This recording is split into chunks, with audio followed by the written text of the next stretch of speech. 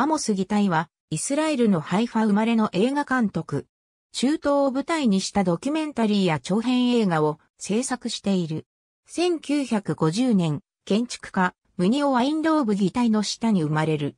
イスラエル工科大学で父と同じく建築学を学び、建築に材を取った実験的な作品を8ミリで撮り始める。米国に留学し、カリフォルニア大学バークレー校で建築の博士号を取得。1973年の第四次中東戦争でヘリコプターでの負傷兵救護チームの一員として従軍し、建築の勉強を中断。従軍中に8ミリでの撮影も行う。1977年からイスラエル国営テレビで20本ほどのドキュメンタリー作品を制作する。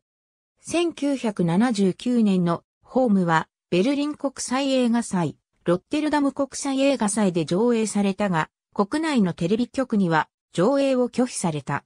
レバノン内戦を描いた1982年のフィールドダイアリーも放映禁止になり、パリに移る。その後10年間はヨーロッパを拠点とする。1985年のエステル、1989年のベルリン・エルサレム、1992年のゴーレム、さまよえる魂は亡命三部作と呼ばれている。1993年にオスロ合意が結ばれたことにより、再びハイファーに戻る。帰国後、1993年にドキュメンタリー映画、戦争の記憶キプール、 War Memories を制作。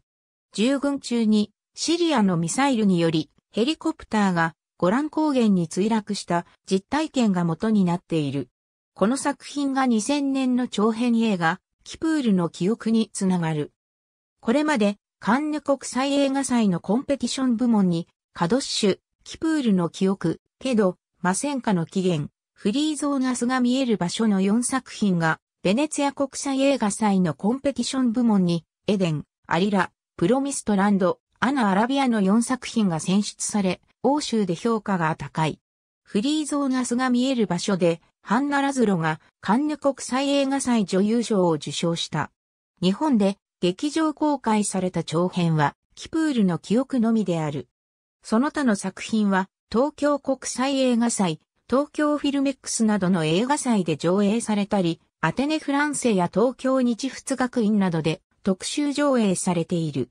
特に東京フィルメックスでは第1回から上映され、以降毎年のように新作が発表され、常連監督となっている。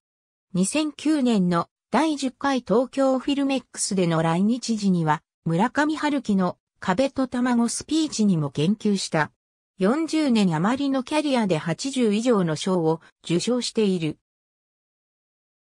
2008年には、ロカルの国際映画祭から名誉表彰を授与された。父はバウハウス出身でミース・ファンデルローエとの共同プロジェクトも多い、著名な建築家、ムニオ・ワインローブ擬態。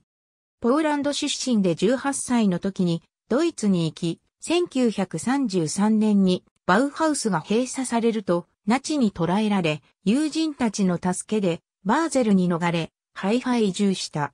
2012年の父へのララバイは膨大な資料から父の個人史を遡った作品である。